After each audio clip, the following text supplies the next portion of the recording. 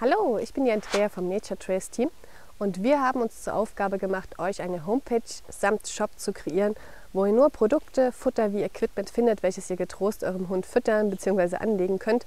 Wir empfehlen nur Sachen weiter, die wir wirklich gut finden. Auf unsere Seite kommt nicht aller Schnickschnack, den es da draußen gibt.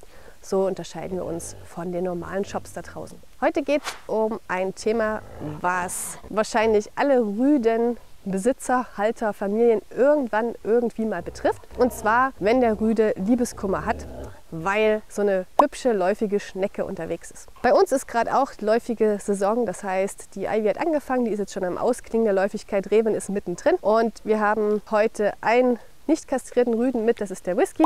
Deswegen schnüffelt der Whisky jetzt immer genau dort, wo die Reven gerade war und ist auch magnetisch bei Revens Hinterteil, wie ihr gerade seht. Das heißt, dort wo Reven ist, ist auch ziemlich schnell dann der Whisky. Deswegen nicht wundern, wenn wir ab und zu mal ganz kurz den Whisky ermahnen, per Stimme, wenn er dann zu sehr der Reven auf die Pelle rückt. Wir können ihn stimmlich ganz gut, sage ich mal, kontrollieren. Das heißt, wenn er irgendwo anfängt mit der Reven zu sehr zu flirten, sagen wir, ey, hör mal bitte auf, und dann lässt der Whisky das auch. Es geht heute eher um Rüden, die ein wahnsinniges Problem haben, die dann nicht mehr essen, die dann völlig neben der Spur sind, die völlig durchdrehen, die einfach nicht mehr sie selber sind, die wirklich richtig, richtig leiden. Wenn euer Rüde, so wie Whisky, ab und zu mal so einer Frau hinterher guckt, die da gut riecht, sehr viel dran schnuppert, dann ist das völlig normales Verhalten. Er ist ja schließlich ein Kerl. Das ist wie, wenn vielleicht irgendein Mann da draußen mal einer hübschen Frau hinterher guckt, ist völlig normal. Das kann man auch nie irgendwie abstellen. Das sind einfach die Hormone. Und wir Frauen schauen ja auch den hübschen Männern hinterher. Also ist das ja irgendwo ausgleichende Gerechtigkeit. Zum Thema Läufigkeit haben wir schon mal ein sehr, sehr anschauliches Video gemacht. Das blenden wir euch irgendwo da oben ein. Ähm, heute geht es quasi um die Rüden. Die Intensität ist wie gesagt sehr, sehr unterschiedlich. Wenn alles schnell vorbei ist, auch wenn er zu Hause ist und dann nicht mehr an die Hündin denkt, würde ich gar nichts weiter unternehmen, euch keine Gedanken machen, alles gut. Was könnt ihr machen, wenn euer Rüde aber völlig Banane ist, wenn eine läufige Hündin bei euch in der Nähe ist? Erstens, sucht dem Rüden bitte Routen zum Spazierengehen aus, wo nie gerade die Herzensdame unterwegs ist. Also fahrt vielleicht mal, nehmt euch die Zeit, eine Viertelstunde mit dem Auto irgendwo raus, wo es einfach nicht nach süßer Schnecke riecht, sondern einfach nur nach Wald und Bergen.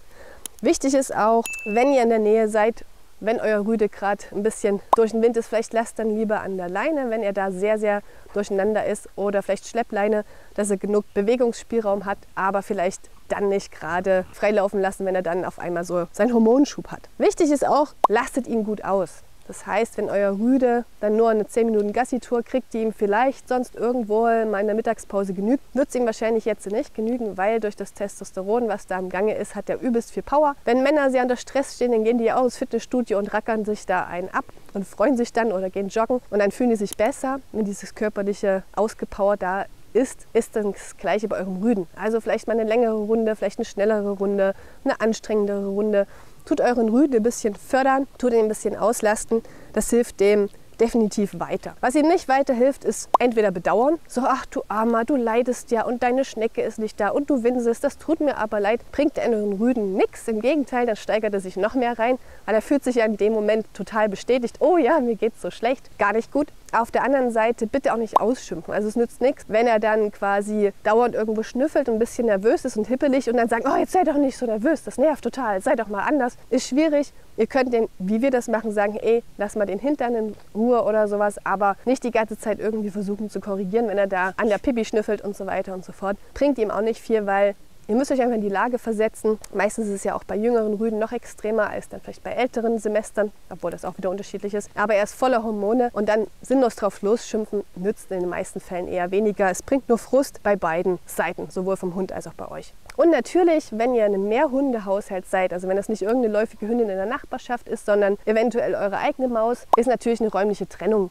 wichtig. Also wir haben auch unsere Mädels immer im Haus nur beim Spazierengehen nehmen wir sie jetzt mit und dann sind die wieder getrennt. Also das heißt, Ivy und Reven sind gerade mit bei uns drinne und der Whisky ist draußen. Da sieht er und riecht er die Mädels nicht die ganze Zeit. Reven will er gerade auch nicht, die zeigt ihm gerade voll, wo der Hammer hängt. Und dann hat er einfach nicht die ganze Zeit das Mädel vor der Nase. Vielleicht habt ihr die Möglichkeit, das dann auch irgendwie räumlich zu trennen bei euch, weil das ist für den Rüden um einiges angenehmer. Wichtig ist, bevor ihr dann denkt, oh Mann, ich lasse den sofort kastrieren, weil dann geht es dem besser. Kastration sollte immer die letzte Wahl sein. Man kann es erstmal mit natürlichen Mitteln probieren, weil die Natur hat ja so Sachen, die uns auch ein bisschen helfen und unterstützen und es muss nicht immer gleich die Operation sein.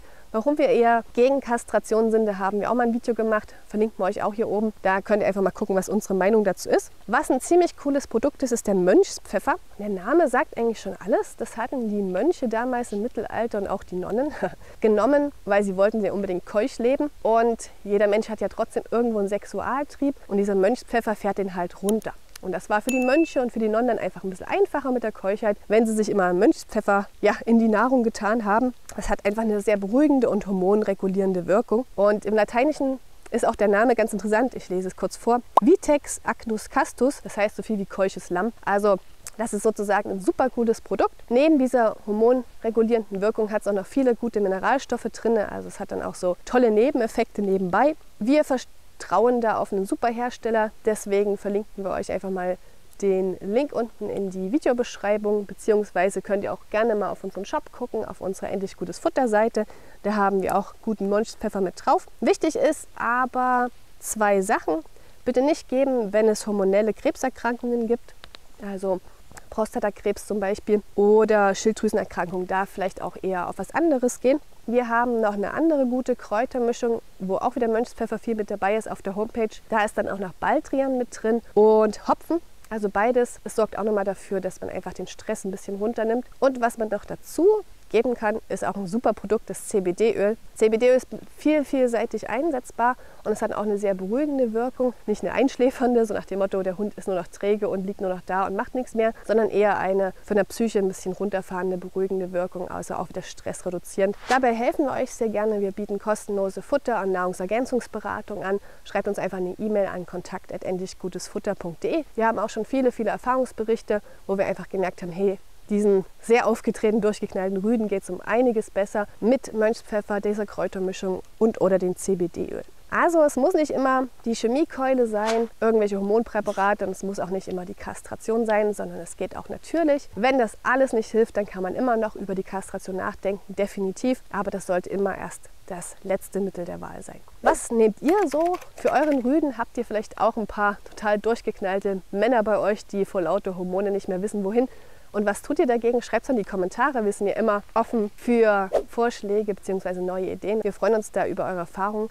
Und ansonsten, wenn ihr Hilfe braucht oder wenn ihr irgendwelche Fragen habt, schreibt uns einfach. Wir freuen uns über jeden Kommentar und über jede E-Mail. Und ansonsten wünsche ich euch viel Spaß mit eurem eventuell durchgeknallten Rüden oder läufigen Hündin. Die Zeit geht vorbei, es ist nur zweimal im Jahr. Das passt. Bis zum nächsten Mal. Ciao.